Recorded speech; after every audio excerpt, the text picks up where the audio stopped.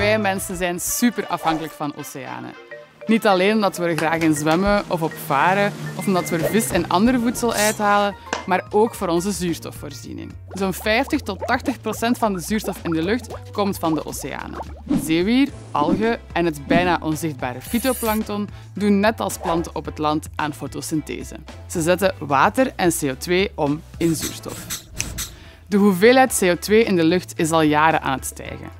Hoe meer CO2 in de lucht aanwezig is, hoe meer CO2 de oceanen opnemen.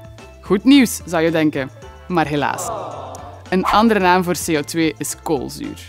Oceanen worden zuurder als er meer koolzuur in terechtkomt. En veel organismen overleven dat zuurdere water niet. Daardoor neemt de biodiversiteit in de oceanen af. En dat heeft ook rechtstreekse gevolgen voor ons. Minder biodiversiteit betekent minder vissen en dus minder voedsel op de wereld. Een andere reden waarom de oceanen heel belangrijk zijn voor het leven op aarde, ook op het land, is omdat de oceanen de warmte over de aarde verdelen. De golfstroom bijvoorbeeld, die voert warm water uit Mexico tot bij ons.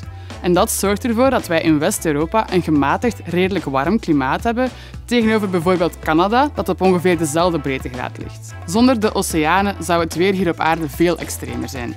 Aan de evenaar veel warmer en aan de polen veel kouder. Ook daarom zijn oceanen belangrijk voor een leefbare aarde.